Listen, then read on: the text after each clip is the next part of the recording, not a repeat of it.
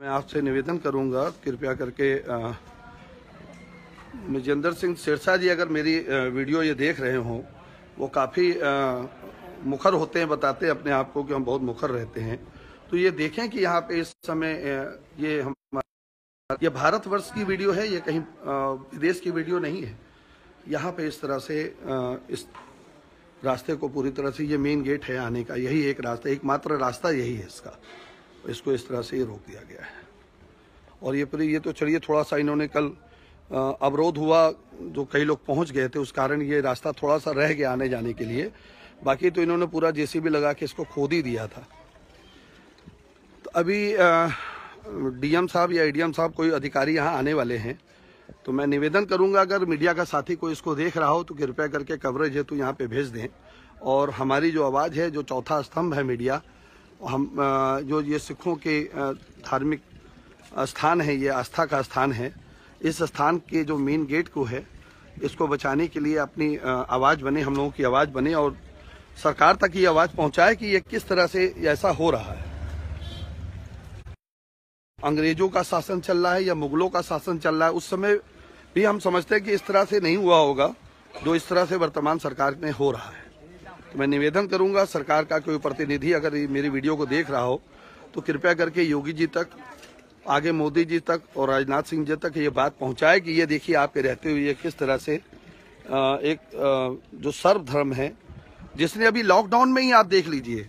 कुर्बानियों के अलावा लॉकडाउन में जितने गुरुद्वारों में लंगर खुल गए थे जो मजदूर, श्रमिक बाहर से आ रहा था, उनके लिए लंगर लगा दिए गए थे। हम ऐसी कौम हैं हम लोगों की सेवा में हमेशा लगे रहते हैं। इस देश के अ, हर तरह की तरक्की में टैक्स में हर तरह में हम लोगों का योगदान रहता है। और हमारे ही गुरुद्वारों को इस तरह से आगे से बंद कर दिया जाए तो हम क्या माने ये मुगलों की सरकार है या अंग्रेज़ों की सरकार चल रही है?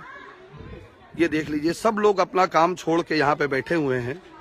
सब किसान हैं कोई बिजनेसमैन हैं सब लोग यहाँ पे बैठे हुए हैं।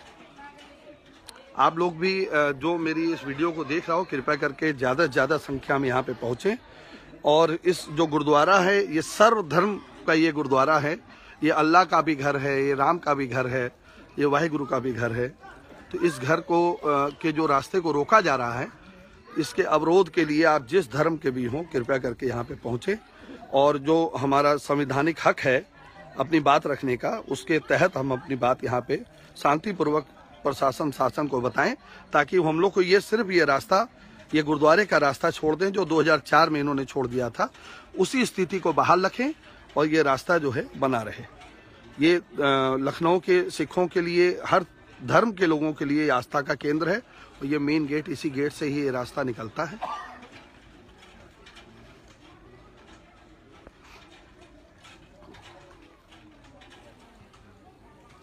मैं सभी से निवेदन करूंगा कृपया करके ज़्यादा से ज़्यादा यहाँ पे पहुँचें और मीडिया बंधुओं को अगर हो सके तो सूचना दे दें मैं यहीं पे हूँ जब तक ये क्लियर ना हो जाए तब तक यहाँ से हिलने वाला नहीं हूँ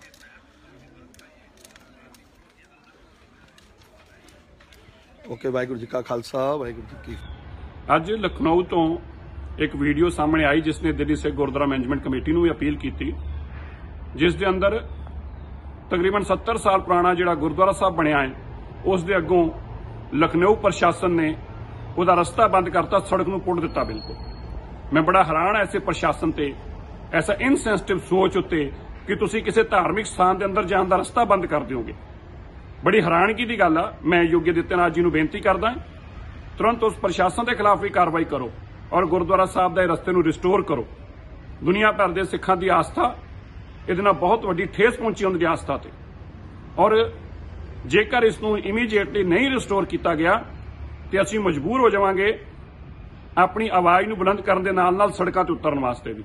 ਮੈਂ ਯੋਗੀ ਨਿਤਿਆਰਾਜ ਜੀ ਨੂੰ ਫੇਰ ਬੇਨਤੀ ਕਰਦਾ ਹਾਂ, ਉੱਥੋਂ ਦੇ ਮੁੱਖ ਮੰਤਰੀ ਜੀ ਨੂੰ ਮੈਂ ਚਿੱਠੀ ਲਿਖ ਕੇ ਵੀ ਕਿਹਾ ਹੈ, ਤੁਰੰਤ ਇਸ ਤੇ ਕਾਰਵਾਈ ਕਰੋ।